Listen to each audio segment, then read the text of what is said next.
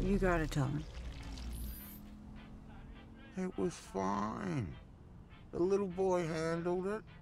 We helped. Talos. Come off it. How was I supposed to know that the whole thing was fake? I mean, that was all very, very convincing. You know, the performances, the illusion, that costume, the craftsmanship in that. I mean, this is just embarrassing for a shapeshifter. Fine. Hey, I hope your uh, mission is going well. We gave the glasses to Parker about a week ago, like you said, and uh, that's very touching, you know? Really, really quite touching.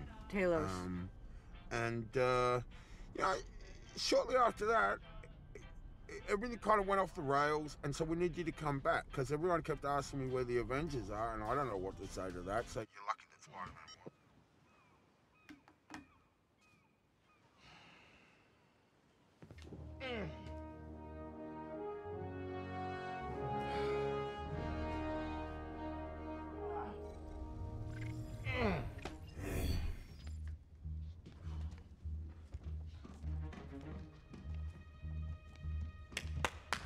Everybody back to work!